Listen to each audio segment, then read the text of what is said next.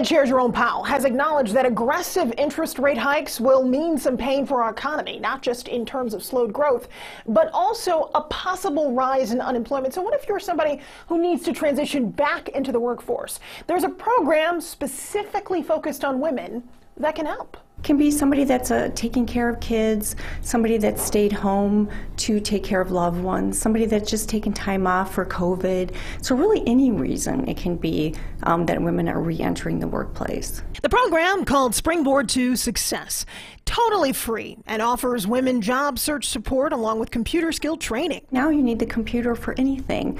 Um, just to go on Zoom, you need computer training. Just to do really anything. I mean, really, every job you need some kind of computer training for. The seven week program held in Southfield, put on by Gesher Human Services. We see, oh, people feel great. They meet other women. They have support. They feel good about themselves. They meet friends, especially now with COVID. People have really not been in contact with each other, so there's a lot of synergy in the room. So, what's actually offered here? Resume help, job search, and advice and counseling. Basic computer training on Microsoft Word and Excel.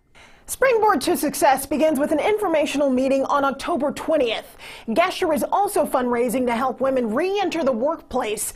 In November, over 13 years, they've raised more than $2.25 million, benefiting more than 2,000 women in Metro Detroit.